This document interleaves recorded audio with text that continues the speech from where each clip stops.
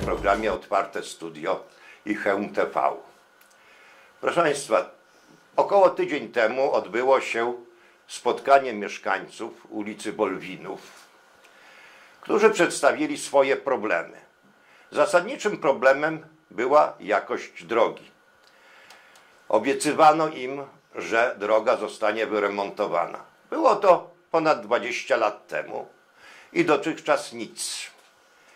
Proszę Państwa, ja wiem, że remont ulic w Chełmie to jest koszt rzędu setek milionów złotych. Ale ci ludzie mają prawo wiedzieć, na jakim świecie żyją. Czy drogi będą mieli i mniej więcej kiedy miasto powinno się odnieść do tych uwag, do ich próśb, do ich pretensji.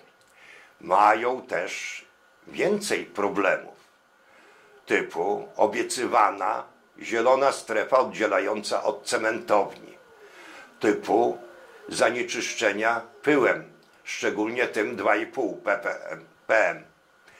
I inne. Niech miasto udzieli przynajmniej orientacyjnej odpowiedzi, jak będą załatwione te problemy. Proszę Państwa, to nie tylko to, że tylko źle się dzieje i tylko, że źle, że musimy czekać, ale są jaskółki.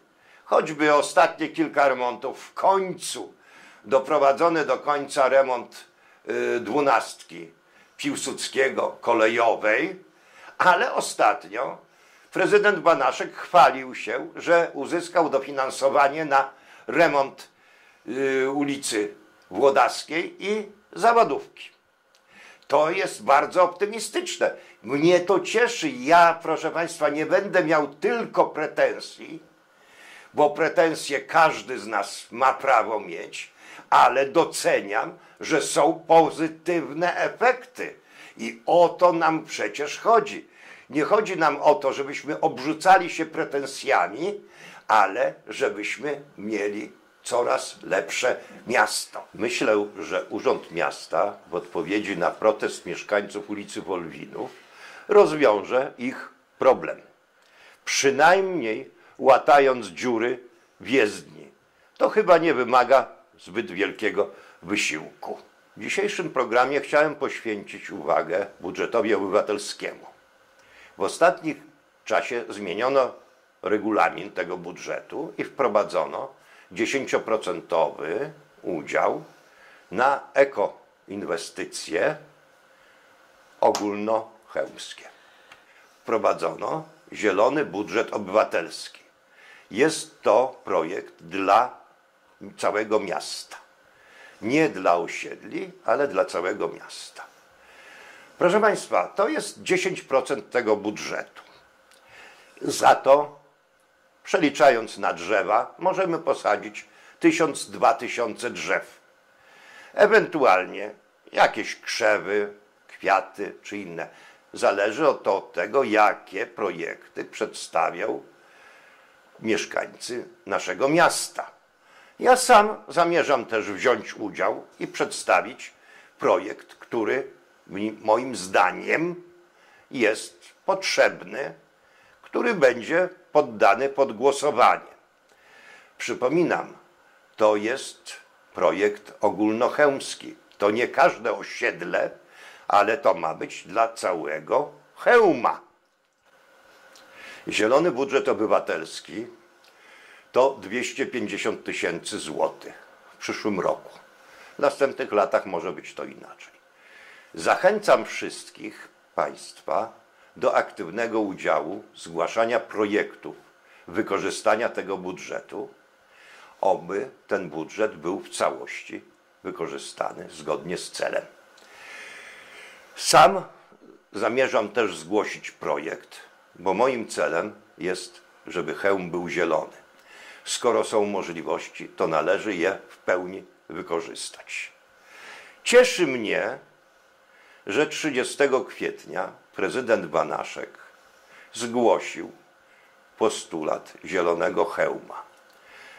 Poprzednie moje doświadczenia z władzami Hełma niestety nie były najlepsze, bo już ileś lat temu zgłaszałem pani prezydent Pisz kwestię brakującego zadrzewienia hełma. A teraz, proszę Państwa, 250 tysięcy złotych to może być parę tysięcy drzew. Niekoniecznie wszyscy muszą chcieć mieć drzewa. Może innym potrzeba krzewy innego typu.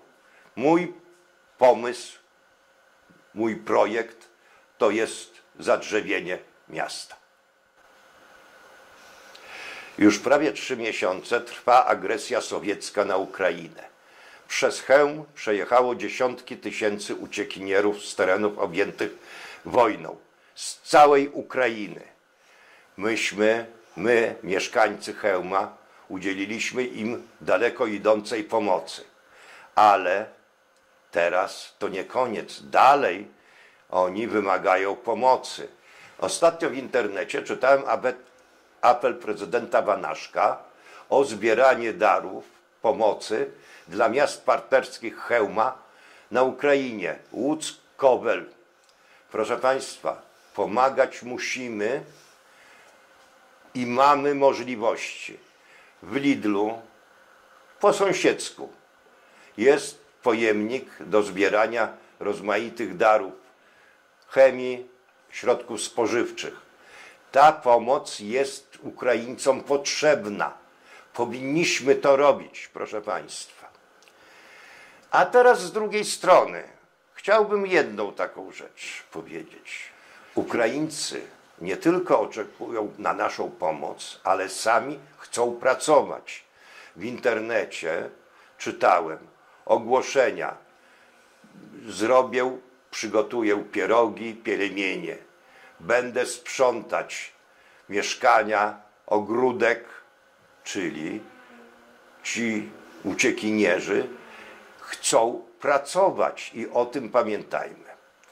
Proszę Państwa, całe, nazwijmy to sobie, zamieszanie wokół sytuacji na Ukrainie dało okazję naszemu miastu do promocji.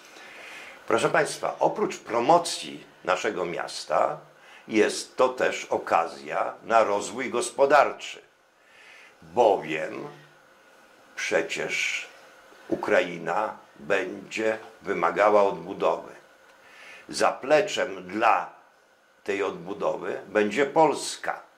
Wobec tego Chełm może mieć tą nadzieję, choćby przez to, że mamy szeroki tor. Kiedyś planowano Europort. Ileś lat temu za prezydent Pisz było to szeroko nagłaśniane. I teraz musimy wrócić realnie do tego problemu. To jest szansa właśnie dla Hełma. To jest szansa nie dla pieniędzy darowanych Hełmowi, tylko dla pieniędzy, które Hełm sam zarobi. I wtedy będziemy mieli przynajmniej troszkę łatwiej. Kilometr ulicy może zrobimy, może posadzimy tysiąc drzew. Hełm na tym ma okazję zyskać. Dziękuję Państwu za uwagę i jednocześnie zapraszam do udziału w programie Otwarte Studio i Hełm TV.